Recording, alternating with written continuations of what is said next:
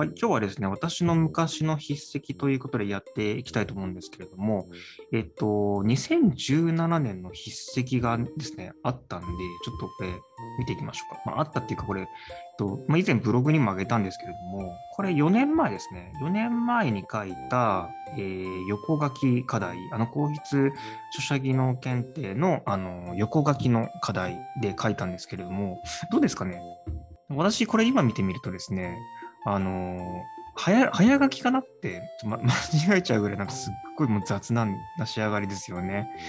で、2017年、えっと、おそらくこれあの、秋から冬にかけて書いたものだと思うんですね。ななので、皇室の3級に合格したかぐらいしたかどうかっていうちょっと微妙な時期に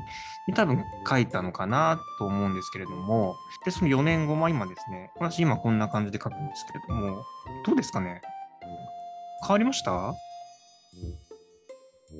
これと、これ、ちょっと恥ずかしいんですけど、今、どうですかね？変わったかな？まあ多少は変わったと思うんですけれども、ちょっとまだね、なんか、なんだろうな。全然納得いかないんですよ。まだ納得いかない。全然ダメ。まあ、っていう感じでですね。次はちょっとひらがな見ていただきたいんですけれども、ひらがなだけ、まあ、漢字は置いといてひらがなですね。の、になった、の、のある、は、の、で、の、に、され、く、として、されようとして、みたいな、いるですかね。で、今、私、じゃ全力でひらがな書いたら、でどれどんなひらがなを書くのかって言ったら、大体こんな感じなんですよ。大 体こんな感じのひらがな。ちょっとアップにするとあの嫌なんで、こんな感じで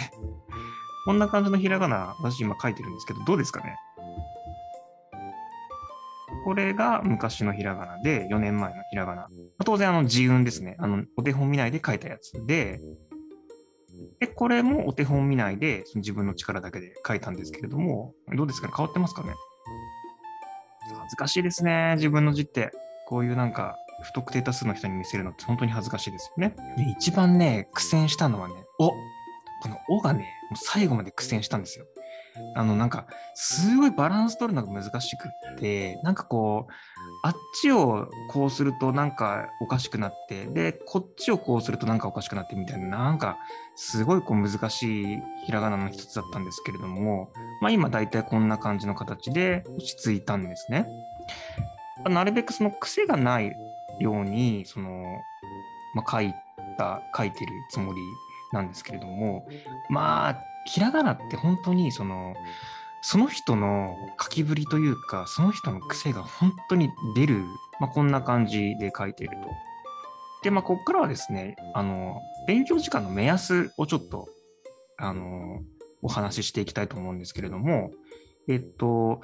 大体その皇室の、えっと、3級に合格したのが2017年の、えー、10月あ10月じゃないやあ、11月か。2017年の11月の試験で合格して、で、2018年の1月に2級に合格したんですよ。ストレートで合格して。ここまでは独学です。で、えー、2018年の6月、6月、えー、11月、そして2019年の1月。1回目、2回目、3回目ですね。3回受けたんですよ。皇室の準1級に。でも3回連続で不合格になっちゃったんですよ。でそこからもうモチベーションが落ちちゃって、で、まあその2019年の1月までその会社員で働いてて、その勉強時間が全然取れなかったっていうのもあったんですけれども、で2019年のですね、2月からですね、もう会社辞めて、あの、教室開こうっていうふうに思ってた時期で、で、2月から6月にかけてはですね、あの練習時間がすごい取れたんですよ。すごい練習時間取れて、だいたい毎日8時間ぐらい書き続けてました。で月間240時間ぐらいですかね、え、書き続けてて、で、2、3、4、5、6なんで、えー、だいたい1400時間ぐらいですかね。で、ずっと練習してて、なんかもうそう、4月に教室開いて、で、まあ、開いたばっかりなので、当然生徒さん全然来ないと。まあ、来ないことをいいことにですね、あのすんひたすらもうずっと書いてて、いやーもう死ぬかと思いましたよね。あで、あのー、1時間に5分ぐらい休憩してたんですよ。1時間 ,1 時間に5分ぐらい休憩していて、で当然その教室の床で、あのちょっと休憩、寝て、あの 休憩してたっていう、まあ、そんなね、思い出があるんですけれども、で、ね、もうこんだけやってもですね、あの、皇室一級不合格になっちゃったんですよ。皇室一級不合格。これなんであの、準一級不合格になったのに皇室の1級受けたかっていうと、もうね、皇室の準1級受けるモチベーションがなかったんで、どうせだったらもう皇室1級目指しちゃおうっていう風に気持ちで、皇室1級を目指してこう、これぐらいやってたんですけれどもですね、まあ、こんだけやってもね、合格しなかったですよ。1400時間ぐらいやっても合格しなかった。あらー、こんなにやっても合格しないんだ。なんて、なんて難しいんだって思って、まあ、ほぼほぼこう独学だったんで、その2019年の6月までは。独学だったからその不効率な勉強していたっていうのもあったから、あまあこんだけやっててもダメだったと。で、そこからちょっと勉強法を変えて、7月からはですね、あのまあ、ちゃんとあのその先生と呼ばれる人からあの教えをちゃんと受けたんですよ。教えを受けつつ、受けつつのもう練習時間増やしました。もう毎日10時間。で月間300時間ですよ。で、7、8、9、10、11、えー、だから、えー、何、どれぐらい ?1500 かな ?1500、まあ、1300、400くらいだと思う。あの11月の半ばぐらいで受験したんで、